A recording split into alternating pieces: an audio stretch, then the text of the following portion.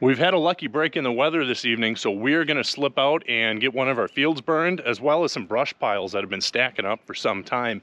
Um, we haven't had a lot of time to do this yet because of the weather and DNR burn restrictions, but we're going to show you a little bit what that's like. Fire is really an important tool for us as rural property owners uh, to help manage some areas that we can't mow or take care of otherwise. Stay tuned.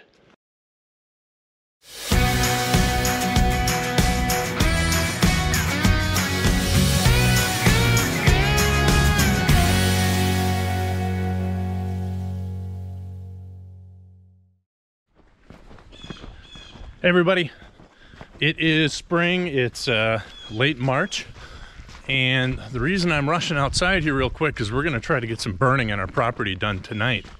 So fire danger has been kind of high and the area where we live in is regulated by the DNR, so we can only burn basically when they uh, when they allow it. There's a lot of woods around here and you know the chances of a fire getting out of control are always out there. So um, last few days, fire danger has been real high and they haven't been allowing anyone to burn.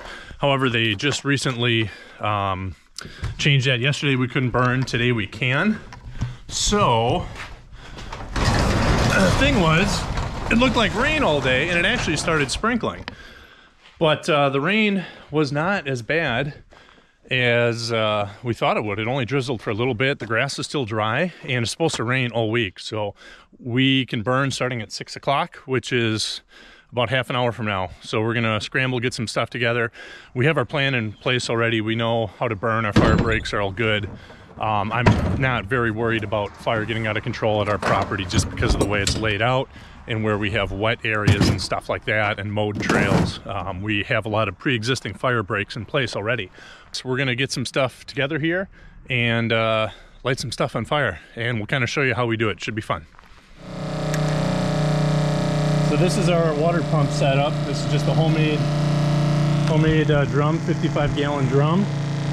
It's got a just North Star electric pump that runs off a 12 volt connected down to the Ranger like that, nothing fancy.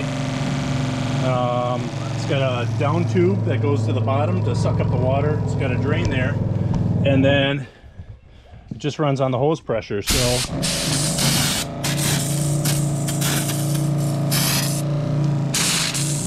let the air get out of the hose. There we go. But as you can see, it's got pretty good range. All right, so what are you doing? So uh, we're gonna fill up the drip torch here. So this is what we use to light the fires. It's a great tool if you're gonna do any burning, definitely well worth, uh, about $150 investment, but well worth it. So we're gonna do a mixture of uh, diesel and gasoline. Um, I think it, it's gonna burn pretty good, pretty easily today. So I'm thinking we'll do maybe like 80% gasoline, about 20%, excuse me, 80% diesel and 20% gasoline. Rosie's excited. Aren't you, Rose? I know. Big fire day. Big fire day. We haven't had a fire day in a while. I know because of the COVID. So last year they were claiming that the COVID uh, would uh, that we needed as many of the first responders for fighting COVID. So they said that they didn't want them diverted if we had our emergency fire services out fighting wildfires. So they would not allow us to burn last year at all. The uh, the one thing we'll have to watch today is I actually wish there was just a little bit of a breeze because when there's a little bit of a breeze, like maybe five miles an hour, it just makes directional burning easier. So there's really no breeze here, so the fire is going to be a little bit more difficult to control. So it's something you got to watch for. But we've just had so few opportunities to burn. Uh, we're just going to have to do it. And actually, if you look at the grass over here, this is how a fire break works, basically, right? So we have longer stuff here that'll burn, probably burn, and eventually then we get down to the shorter stuff. So this the lawn here, it's greening up, it's really short. It's gonna act as a fire break.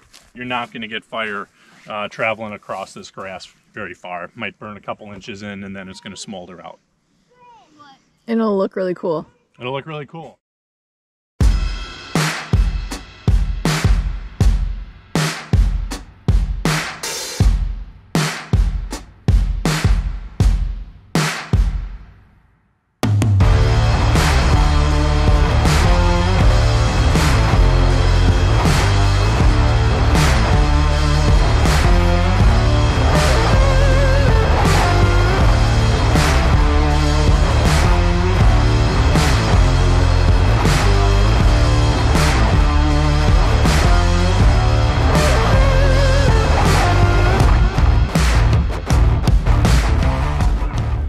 All right, so now you can see the wind has shifted again. This is the problem when there's just no wind. It's hard to control the direction, so you have to be really careful.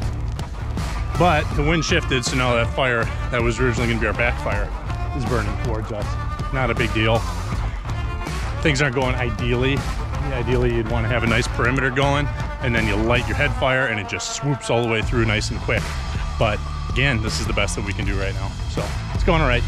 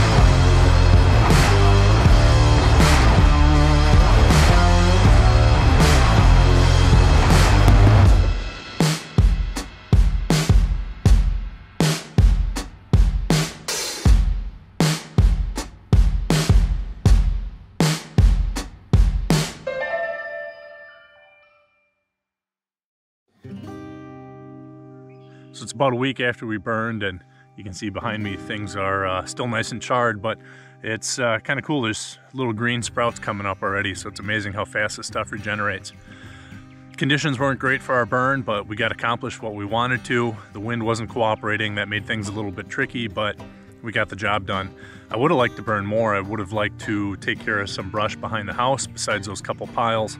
And then I've got some other fields too that I wouldn't have mind burning, but uh, with the conditions and been raining all week. I think everything is just greening up too fast. And, you know, when you combine that with uh, pretty strict restrictions on when we can actually do prescribed fire, it, it, just makes it tough to find time. So, but the main goal was to get this, uh, this acre or so done down here, and, and we got that done.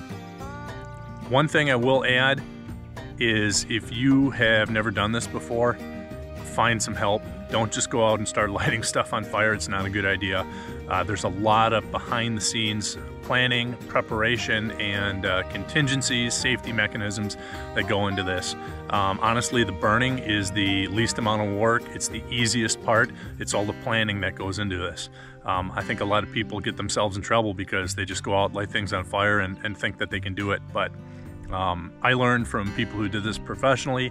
I learned from people who burned for the state, uh, for the DNR, and who did uh, prairie restoration and used prescribed fire for that. So, you know, find somebody who knows what they're doing, go take a class, do something like that. Um, you know, don't just uh, because you saw a video on the internet think that you can light your light your stuff on fire. It's not a good idea. Fire can be really dangerous, and you wouldn't want to uh, be responsible for something that got out of control. Thanks again for joining us. Hope you enjoyed the video again. If you did, hit the like button below, leave some comments uh, if you got any questions, and hit the subscribe button. We'll see you next time.